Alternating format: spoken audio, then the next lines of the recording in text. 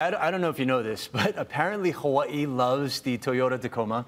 And Hawaii Island had the honor of unveiling the pickup truck's newest models. Take a look.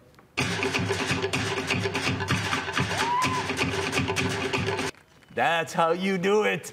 Fire Knife Dancers lit up the debut of the 2024 Hybrid Trail Hunter Hybrid TRD Pro, uh, Pro and Sport model at the Mauna Lani in Kona yesterday evening.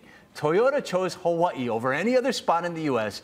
because the Tacoma has been the most popular vehicle in the islands for 22 years now. Toyota says the new trucks are built for off-roading.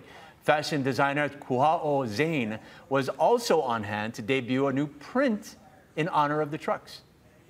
Uh, I think that speaks to them actually leaning into this island lifestyle, that this is just such a um, integral part of our life to be able to go to these areas, these little spots that nobody going to say the name, but you go out to these spots and you have the access to it because of what Toyota Hawaii serves as a product of Tacoma.